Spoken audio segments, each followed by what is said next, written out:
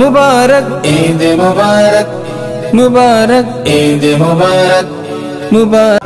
د زړه غمونه مې په کور کې اعتکاف ته ناشتي د زړه غمونه مې په کور کې اعتکاف ته ناشتي اختر به کله وي نور څومره انتظار پکار دی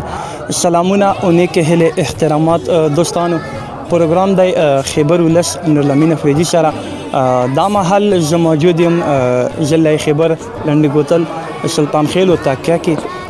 بالکل د انتظار غړې ختم شولې نن د عید الفطر ورځ ده د وړو کې اختر ورځ ده مینوالو ما په شابه باندې تاسو ته په نظر باندې را درومي اختر مونږ به کیږي ان شاء الله کوشش کوو چې خپل معلومات را واخلو د اختر د ورځې په حواله سره او د مونږ چې کوم د پښتنو ارټریډیشن د عکاسي کیږي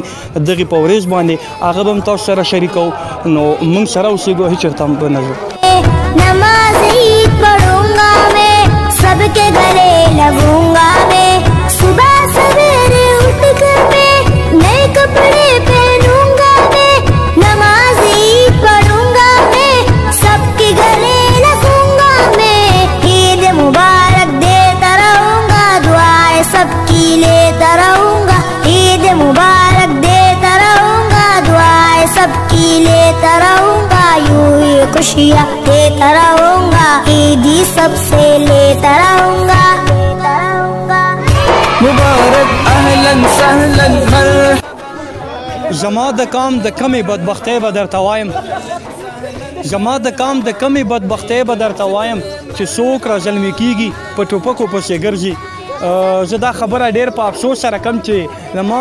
ګلالي ماشومان د ډیره بهترینه ورځ ده او ډیره د خوشحالو نه ډکه ورځ ده چې په داسې بهترینه ورځ باندې موږ خپل ګلونو ماشومان له په لاسو کې ټوپک ورکو موږ پښتنو هغه یو تصویر داسې تللی چې هغه اوس هم هغه ماشومان چې هغه ذهن د ټوپک چې هغه اوس هم دو په اختر په ورځ کې مرخلي نو دغه ماشومانو نه اوس تاسو سره لګي خبرې شریکوم چې دو اختر په حواله سره دا نن د ټوپک کې څه لاره خلی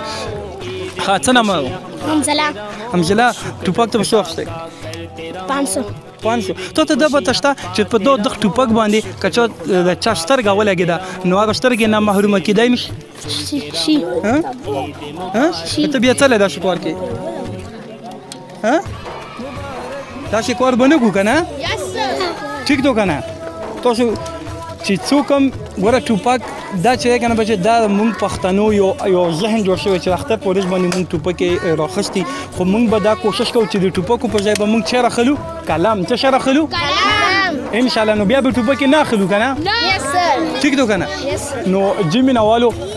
ماشومان چون کې دا خو ناپوهه نه پیږي نو دغو له ذهن جوړېدل دا د مونږ کار دی مونږ له پکار دي چې دغو ماشومانو له ټوپک په ځای باندې لاس کې قلم ورکو نو دا وخت به ما د مینوال ویني مونږ دغو ټولو والدینو ته زه دا ایز ریکوست کوم چې تاسو د اختر په ورځ باندې خپل بچو له ټوپک اخلو نو دغه د ټوپک په مقابله کې د اختر په خوشحالۍ کې ډېرې تحفې هم نورې هم شته هغه له واخلو ټوپک په ځای باندې قلم شته دی کاپی شته دی نور قسمه قسمه تحفې شته نو چې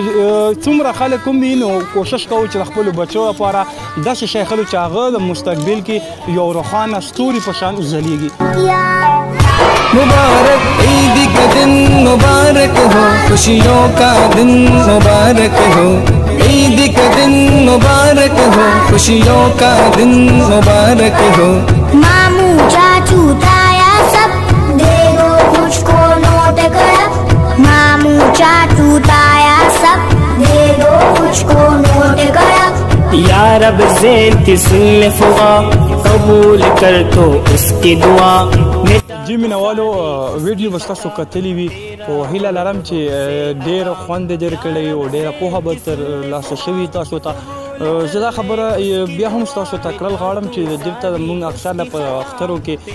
خپلو ماشومانو له ټوپکې اخلو خو د اکثره د ماشومانو د خو ناپوهه ای دا مختلف مختلف قسم کې سره ډاجي کی او په هر حساب باندې سره وشتل وشتل کوي نو خدا نه خوښ الله مکه چې په دغه دوران کې د چسترګ ولګي نو هغه سترګ نه هم نه محروم پاتې کیږي اصل کې دا ماشوم له ټوپک چارلو دا مونږ تاسو والدین راو ځکه چې موږ له خپلو بچو له په اختر کې ټوپک اخلو نو د ټوپک په مقابله کې نور داسې خوراکي شته چې هغه د صحت ته ضرورتي نور داسې شي نشته چې د ژوندګۍ لپاره یو قسم لا استفاده ته اخستل شي نو زه هغه والدینو ته دا زه ریکوست کوم چې دا پښتون دا ایمیج دا کلچر دا داسې په نورو ځایو ته داسې وخو چې هغه ته څه مقصد حاصل کی حالانکه دا نه چې موږ خپل خپل دود دستور چې کوم کلچر دی هغه موږ په ټوپک باندې خلکو ته پرزینټ کو نو موږ هیڅ کله دا نه غواړو چې پښتنو نه چې دا ټوپک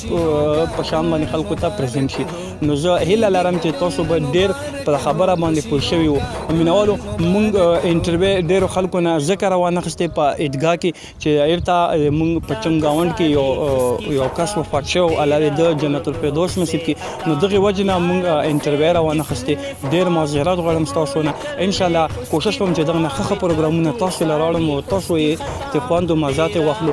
دغه سره موږ پروګرام پای ته ورسېدو تاسو خپل ارور له اجازه ورکو هر چرته چې مو خادو سو آبادو سو د الله پامان